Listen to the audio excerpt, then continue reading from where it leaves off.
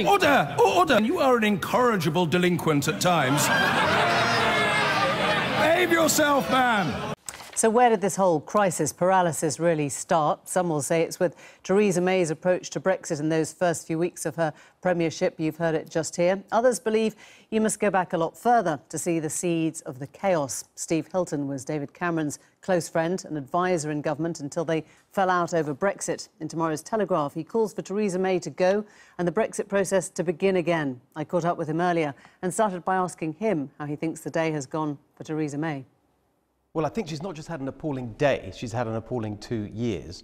Um, and the short answer to your question is I wouldn't start from here because I think she's got every single aspect of this wrong from day one. I'm sure they're all sitting there in a complete panic thinking, you know, what are we going to do? Are we going to get the vote through? They're going to be twisting arms. They're going to do all the things that you'd expect. But in the end, all of that is a total waste of time if you've got the fundamental strategy wrong, which is what they've done. She's ruled out any other options. So should she pivot now? Can she pivot? Is there another alternative? Well, I, th I think we've got to um, say very plainly that it's not just her, it's the Tory party generally over the last two years that have made a monumental mess of this whole situation.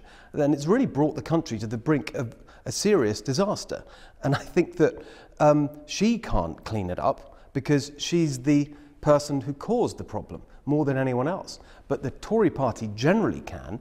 And really, what I want to say to the Tory MPs is it's not too late to clean up this mess. And I think there are three steps they've got to take.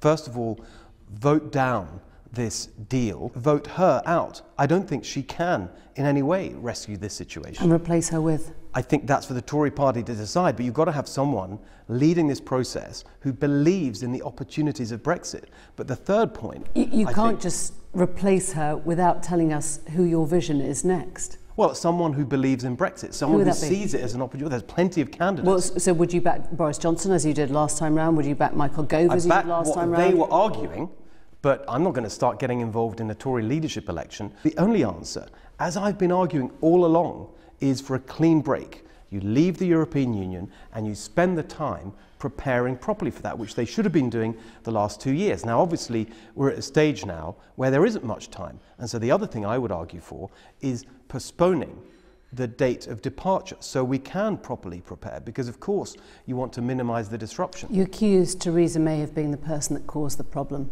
Many people will say the person that caused the problem was your old friend David Cameron. Oh yes, I think the there's a lot of blame to go around. Absolutely right. I mean, that's why I talk about the Tory party generally having a responsibility here because all sides have contributed to this disaster.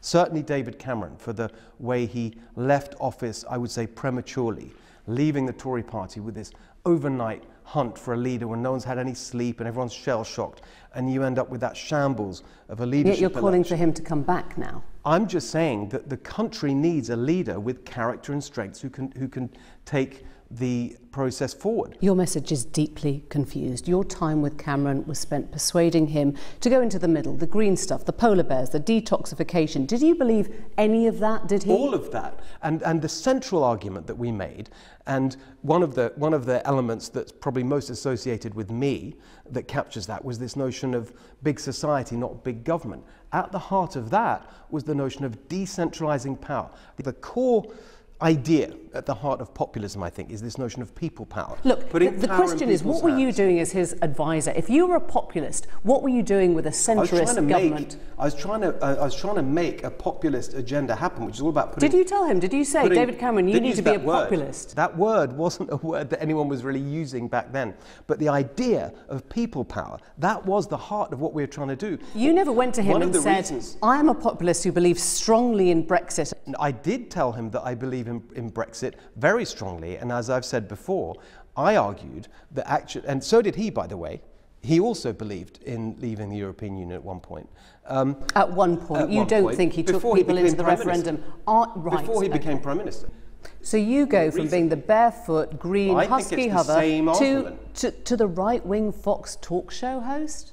Positive populism. That is the theme of my show. I hope everyone can watch. You can see clips of it's it. It's so positive to hear Ann Coulter on your show talking about child actors when she was asked about Donald Trump's border separation policy of families, and you sitting there not even bothering to challenge her?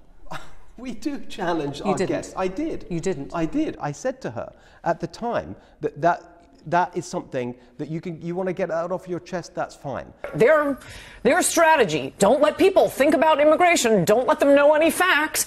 Anchor baby, there's nothing racial, there's nothing sexual. It means you anchor the child here and then the child can bring in all the relatives. It's a boating metaphor. So, yeah, they're upset about it because it allows people to discuss immigration. And then chain migration. and chain migration. But look, back then Posner said as long as you oh, incentivize people to come here from south of the border, they're going to keep dying crossing through the desert as long as you keep that magnet on. And what greater magnet than citizenship, than Medicare, Medicaid, free health care? Yeah, that's why people voted for Wall. And I would also say one other thing these child actors weeping and crying on all the other networks 24 7 right now. Um, do not fall for it, Mr. President. Um, I get very nervous about the president getting Well- his news from TV because.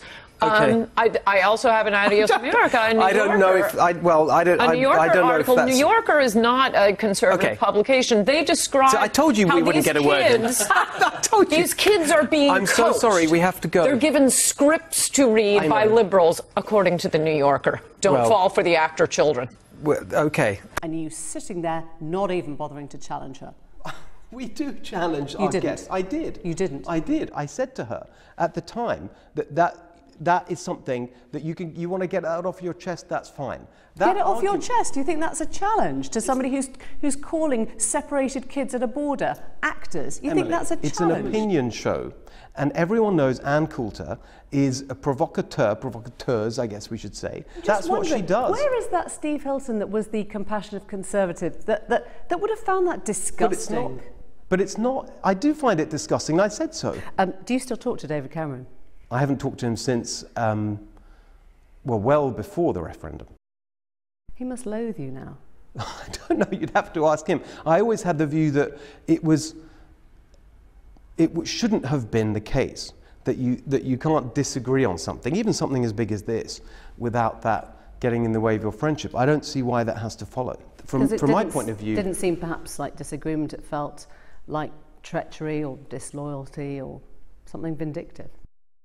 Why would you use any of that language? Your interventions came at a time when the man, the prime minister that you were advising, had been advising, whether he was right or wrong, was trying to fight for his political corner, and you were nothing to do with the government, and yet you kept coming back and trying to make. Well, he was the one, remember, and, and George Osborne actually, um, who said, look, this is bigger than any election campaign. This is like the biggest issue of our generation. You're the one that's not friends with him. So, No, I'm not from my point of view. Right. I'm, I'm, I'm, Steve Hilton, thank you. thank you.